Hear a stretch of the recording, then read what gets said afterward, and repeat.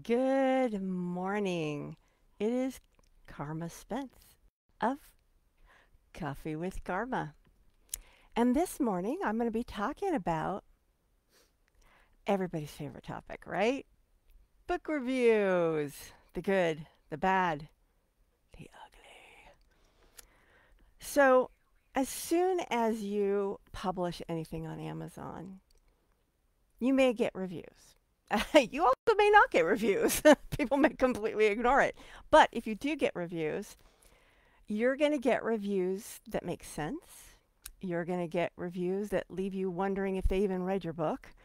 And you're going to get reviews that tell you you're crap. And you're going to get reviews that are so fluffy that you're glad they liked it, but you don't know what about the book they liked it. And then you're also going to get some really good reviews that help you move forward. So, how do you navigate this, to use a term I often use, buffet of book reviews? Well, I'm going to give you three tips today so that you can navigate those book reviews and know which ones to do something about and which ones to go, eh, never mind. but before I do that, I'm going to just give a little just in case for some reason you landed on this page and are watching this video and have no clue who Carma Spence is, I'm an award-winning and best-selling author. Uh, two of my books, I have five books out. Um, two of them have gone to bestseller. One has won three awards. I am certified in author marketing and I have oh, 30 years of experience in PR and marketing, including a master's degree in PR from what U.S. News and World Report called the number one public relations graduate program in the nation, the U.S., just in case you're wondering where I am. So first, when you're reading your reviews, think about where is the person coming from when they wrote the review? And is the information they are providing helpful to you? So, for example, uh, the last book I launched was the second edition of Home Sweet Homepage. And some of the reviews I said that said stuff like, I can't believe she wants me to give her my email address for the rest of the book. I'm sitting there thinking, what are you talking about rest of the book? Yes, I will give you a full course that's worth four or five hundred dollars that delves into the same topic as the book, and I'll give it to you for free if you give me your email address. But I don't know how checklists and video training and all that good stuff is the rest of the book. So clearly, this person was off mark. But rather than just say, oh, that person's crazy, I thought, hmm, why does this reviewer think that I'm offering the rest of the book if you give me my give me their email?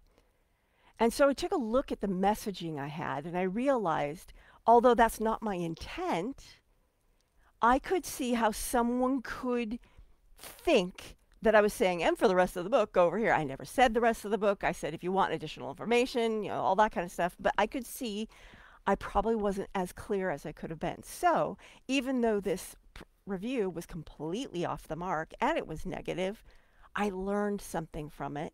And I, although I can't fix the book itself because it's printed, the next time I review it, I can change it. So that's what you need to do when you're looking at critical book reviews is where's the nugget of wisdom in this review that I can learn to be better next time? Because that's what it's all about getting better every day, right? In every day in every way, I am getting better and better, right? You can become a better author by paying attention to the critical reviews and pulling out the nuggets of learning from them. Now, you're also going to receive positive feedback.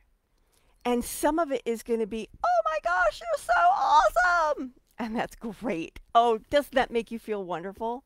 But it doesn't help you or move you forward. the positive reviews I like to pay attention to are the ones that say, I really like the way she did this. I really appreciated that she included this. Because that kind of information tells me, okay, I hit the right mark and I should do something like that again in my next book. So again, even in the positive reviews, you want to pull out the nuggets of wisdom that can help you be better the next time you do that book or another book. And finally, now this is kind of cool. At least on Amazon, I have not checked other platforms, but at least on Amazon, you can respond to book reviews. And I recommend that you wait wait a, a, little bit of time if it's really caused an emotional reaction. Because you don't want to have your response be you knucklehead. No.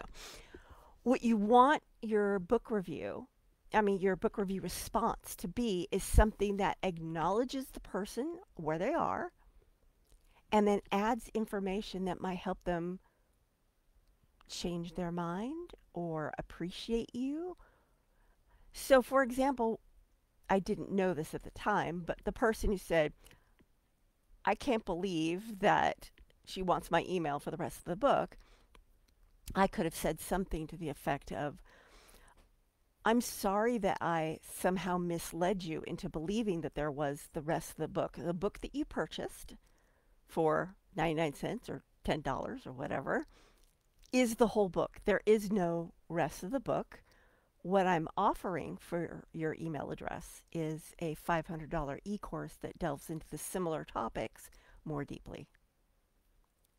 That would have turned it around so that the next person reading that review would see my response and realize, oh, she's not really asking for an email address for the rest of the book. So you can turn bad book reviews around by providing a thoughtful, neutral response that adds information that might help them process where where what's going on.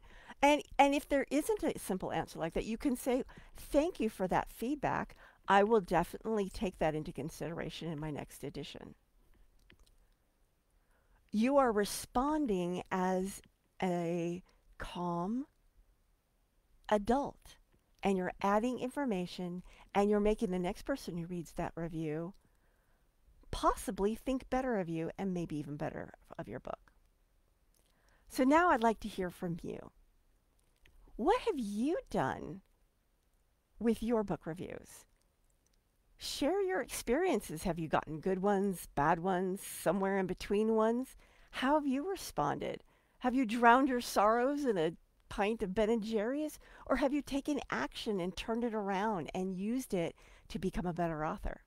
I'd love to hear your story. Just put it in the comments below. And that is it for this Coffee with Carma. Ciao for now.